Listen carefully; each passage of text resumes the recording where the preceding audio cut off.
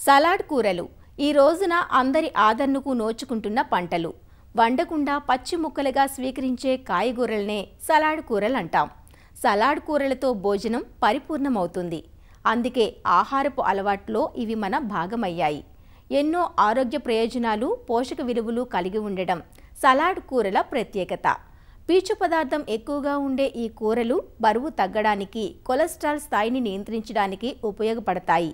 పెరిగిన వినియోగంతో సలాడ్ కూరగాయల మార్కెట్ రాను రాను విస్తరించడంతో ఎన్నో కొత్త పంటలు విదేశీ జాతులు సైతం వీటి జాబితాలోకి వచ్చి చేరుతున్నాయి. సాధారణంగా carrot tomato cherry tomato cabbage cauliflower కీరా దోస బెల్ పెప్పర్ బ్రొకోలీలను సలాడ్ కూరగాయలుగా వాడటం మనకు తెలుసు. ఇప్పుడు వీటికి సలాడ్ గ్రీన్స్ తోడయ్యాయి. పచ్చి ఆకుకూరలే సలాడ్ గ్రీన్స్. వీటిలో లెట్యూస్ గురించి మీరు వినే ఉంటారు. కానీ ఇంకా మనం వినని ఎన్నో కొత్త పంటలున్నాయి. గతంలో వీటిని దిగుమతి చేసుకునేవారు. ఇప్పుడిప్పుడు వీటి ఉత్పత్తిని మన దేశంలోనే వాణిజ్య స్థాయిలో చేపట్టడానికి ఎందరో రైతులు ఆసక్తి చూపుతున్నారు. హోటళ్ళు సూపర్ మార్కెట్లతో ఒప్పందం చేసుకుని పట్టణ పరిసరాల్లో రైతులు షేడ్ నెట్లు పాలీహౌజుల్లో వీటి సాగు చేపడుతున్నారు. గృహిణులు సైతం సలాడ్ పంటలను చాలా సులువుగా ఇంటి వద్దనే కుండీల్లో పెంచుకునే అవకాశం ఉంది సలాడ్ గ్రీన్స్ కొత్త పంటలు అసలు ఏమేమున్నాయి? ఎన్ని రోజుల్లో అంది వస్తాయి? ఎలా వీటిని పెంచడం? కొత్త సలాడ్ పంటల గురించి ఆసక్తికరమైన విశేషాలను రామోజీ ఫిలిం సిటీలోని ఉద్యాన నిపుణులు కీర్తన నుంచి అన్నదాతలో ఈరోజు తెలుసుకుందాం.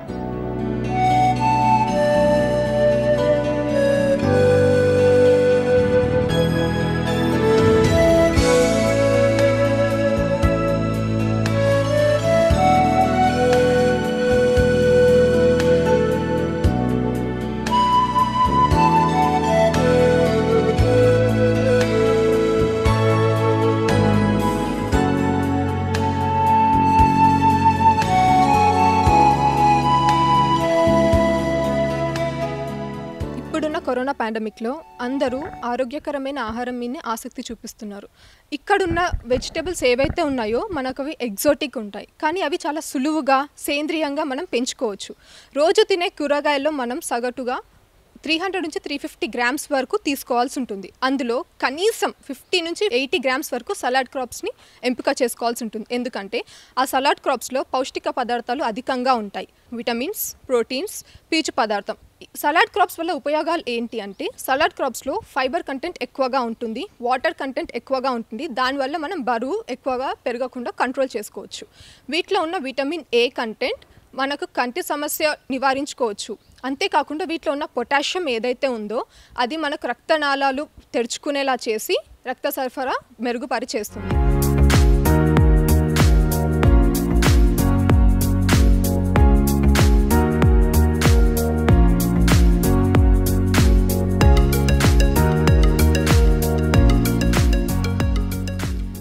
లెట్యూస్ గురించి తెలుసుకుందాం. ఇక్కడ ఉన్నవి రెండు రకాలు ఉన్నాయి. రొమైన్ లెట్యూస్ ఒకటి న్యూ లీఫ్ లెట్యూస్ ఒకటి. ఇది న్యూ లీఫ్ లెట్యూస్. ఇది కాండం నుంచి కొంచెం ఓపెన్గా లూజ్గా కవర్ అయి ఉంటాయి లీవ్స్. ఈ లెట్యూస్లో మనకు పౌష్టిక పదార్థాలు ఎక్కువగా ఉంటాయి.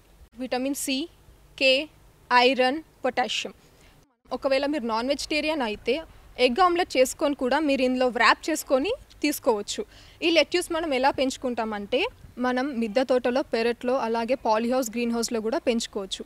విత్తనం ద్వారా పెంచుకోవచ్చు. ఆ విత్తనం మనం ప్రోట్రేస్లో పెట్టి అది పది నుంచి పదిహేను రోజుల వరకు విత్ మొలకెత్తుతుంది. ఆ మొలక మనం ఇంట్లో ఉన్న ఏ కుండీ అయినా సరే దాంట్లో మనం పెట్టినట్లయితే ముప్పై నుంచి నలభై ఐదు రోజుల వరకు పంట తీసుకోవచ్చు మనం. ఒక ఆకు తీసుకోవచ్చు లేదా ఫుల్ క్రాప్ ఎంటర్ ప్లాన్ తీసుకొని మనం సలాడ్గా యూజ్ చేసుకోవచ్చు.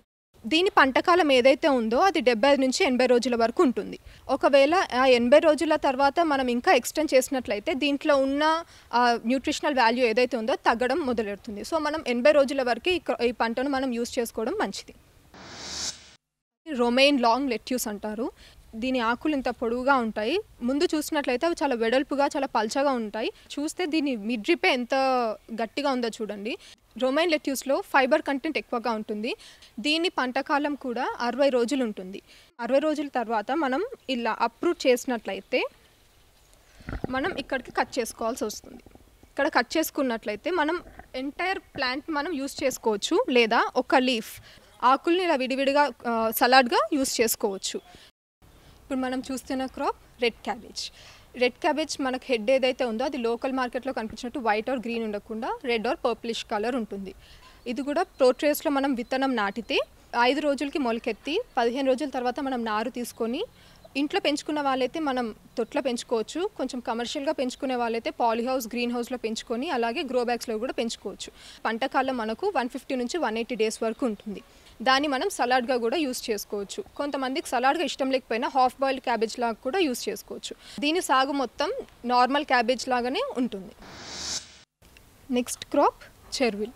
ఇది చూడడానికి కొత్తిమీరలాగా ఉంటుంది కానీ దీని న్యూట్రిషనల్ వాల్యూస్ వేరేలాగా ఉన్నాయి దీనిలో ఉండే vitamin A vitamin C vitamin K వల్ల మనకు కంటి సమస్యల నుంచి నివారించుకోవచ్చు. ఎలా అంటే దీని నుంచి మనం ఒక ఐ వాష్ ప్రిపేర్ చేసుకున్నట్లయితే రోజువారీ ఉన్న స్ట్రెస్ రిలీఫ్ లాగా యూజ్ చేసుకోవచ్చు. ఇది ఐ వాష్గా చూస్ చేసుకుంటే మనకు డార్క్ సర్కిల్స్ ఏవైతే ఉన్నాయో కళ్ళ సమస్యలు ఏవైతే ఉన్నాయో దాని నుంచి మనం పరిష్కారం పొందవచ్చు. అలాగే దీనిలో నుంచి ప్రిపేర్ చేసిన టీ బ్లడ్ షుగర్ లెవెల్స్ ఏవైతే ఉందో కంట్రోల్ చేసుకోవడానికి ఉపయోగపడుతుంది. దీని పంటకాలం కూడా అరవై నుంచి డెబ్బై ఐదు రోజుల వరకు ఉంటుంది. ఇది ఏదైతే ఉందో దీని పంట మనం ఆకుల్లాగా యూజ్ చేసుకోవచ్చు లేదా ఈ కాడలు కూడా యూజ్ చేసుకోవచ్చు. కట్ చేసినప్పుడు మళ్ళా మళ్ళా పూత వస్తూనే ఉంటుంది. ఆరు సార్లు మనం చేసుకోవచ్చు. దాని దాని తర్వాత పంట కంప్లీట్ అవుతుంది. Next crop broccoli. దీనికి ఇప్పుడు ఉన్నంత ప్రత్యేకత అసలు ఏ క్రాప్ మీద చూపించట్లేదు. ఎందుకంటే దీంట్లో ఉన్న న్యూట్రిషనల్ కంటెంట్ మిగతా వాటిలో కంటే కొంచెం ఎక్కువగా ఉంటుంది. దీంట్లో ఉన్న విటమిన్ సి కంటెంట్ ఏదైతే ఉందో మనకు అనేక క్యాన్సర్ వ్యాధుల నుంచి పోరాడుతుంది. అంతేకాకుండా దీంట్లో ఉన్న విటమిన్ సి మన బాడీలో ఇమ్యూనిటీని పెంచడానికి ఉపయోగపడుతుంది. ఇప్పుడు మన కోవిడ్ సిచ్యువేషన్లో కావాల్సింది అదే కదండి. అందుకే ఇప్పుడు మనం ఇది మనం మిద్దె తోటలోనే మన పెరట్లోను కూడా పెంచుకోవచ్చు. ఈ బ్రొకోలీ పంటకాలం నూట యాభై నుంచి నూట ఎనభై వరకు ఉంటుంది. ఇది కూడా మనం నారుతో పెంచుకోవచ్చు. దీని లీఫ్ కాకుండా మనకు అది ఆ బ్రొకోలీ హెడ్ అయితే ఉందో అది మనం యూస్ చేసుకోవచ్చు. అది మనం సలాడ్గా యూస్ చేసుకోవచ్చు. కొంచెం ఉడకబెట్టి కూరలాగా వాడుకున్నట్లయితే దీంట్లో ఉన్న న్యూట్రిషనల్ కంటెంట్ చాలా లూజ్ అవుతుంది. సో మనం ఇది సలాడ్గా ఎక్కువ యూస్ చేసుకోవడం మంచిది. నెక్స్ట్ క్రాప్ సెలరీ దీనిని కూడా మనం నారుతో పెంచుకోవచ్చు. టాలుటా వెరైటీ. దీని ప్రత్యేకత ఏంటంటే మిగతా వెరైటీస్తో కంపేర్ చేస్తే దీని కాండం ఏదైతే ఉంది అది కొంచెం థిక్ ఉంటుంది. థిక్ ఉండడం వల్ల మనకు దీంట్లో న్యూట్రియంట్ కంటెంట్ కూడా ఎక్కువగా లభిస్తున్నాయి. దీని పంటకాలం డెబ్బై ఐదు రోజులు ఉంటుంది. ఇది హార్వెస్ట్ చేసుకోవాలనుకుంటే ఆరు ఇంచుల పొడవు ఉండాలి మూడు ఇంచుల వెడల్పు ఉండాలి. అప్పుడు మన కరెక్ట్ స్టేజ్ ఆఫ్ హార్వెస్టింగ్కి రీచ్ అయినట్టు ఉంటుంది. దీన్ని సెవెంటీ ఫైవ్ డేస్ నుంచి ఎయిటీ డేస్ తర్వాత మనం హార్వెస్ట్ చేసినట్లయితే మళ్ళీ ఒక పది రోజులకి మళ్ళీ ఇంకొకసారి హార్వెస్ట్ చేసుకోవచ్చు. ఫస్ట్ హార్వెస్ట్ చేసిన తర్వాత ఆ కాడ మనకు మళ్ళీ హార్వెస్ట్ చేసుకోవాలనుకుంటే సిక్స్ ఇంచెస్ వరకు వెయిట్ చేయాల్సి ఉంటుంది. అలా మనం సిక్స్ టైమ్స్ హార్వెస్ట్ చేసుకోవచ్చు. ఈ సెలరీ మనకు లో క్యాలరీ సలాడ్ క్రాప్ అన్నమాట. Next crop pak choi. ఇది చైనీస్ క్యాబేజ్లో ఒక రకం. పేర్లోనే ఉందండి ఇది క్యాబేజ్ అని. దీని ఆకులు మనం చూ చూసినట్లయితే ఆకారం క్యాబేజ్ లాగా అన్ని లీవ్స్ అమర్చబడి ఉన్నాయి.